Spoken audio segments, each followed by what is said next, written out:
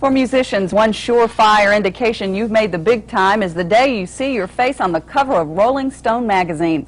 That moment came this week for members of Georgia's own REM, and Athens rock and roll band that has proven you can get there from here.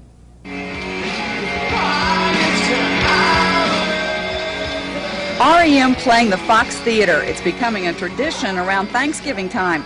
This week, the band ended its 1987 tour with a four-night stand at the Fox Theater, a sold-out show every night. We like to play Atlanta and we like to play someplace nice. The Fox Theater is one of the nicest halls in the country. It's also close to Athens, Georgia, the place all band members have called home since they met in college and decided to start a rock and roll band several years ago. Guitarist Buck says they like Athens and feel lucky they haven't had to move to New York or Los Angeles to make it big. I know a lot of people who, who do, you know, they go to the big cities to make it. We were lucky in not having to, to do that. And by the time that we were starting to get successful, we, you know, had roots that were pretty well established there. And it's a nice place to stay. And REM has made it big. Their latest album, Document, is one of the fastest selling albums in the country. And this week they made the cover of the Rolling Stone. The magazine goes one step further and calls REM the best rock and roll act in the country.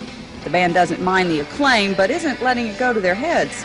I see lots of bands I think are really good, and you can't really compare bands. I mean, you go see a blues band, you go see a soul band, or a rock and roll band, or a rap band, and how can you say which one's better or which one's worse?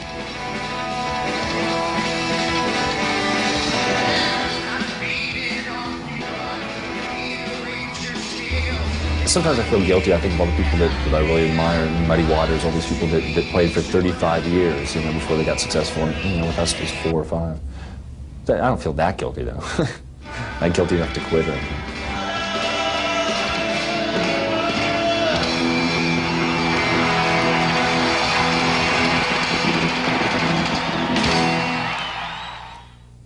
Buck says he knows the band is not the biggest thing in Athens. He humbly acknowledges the Georgia Bulldogs have that honor. The band will settle for being the second biggest. Well, at least they drew more people this week than the Falcons did. they sure did. Well, that's our report.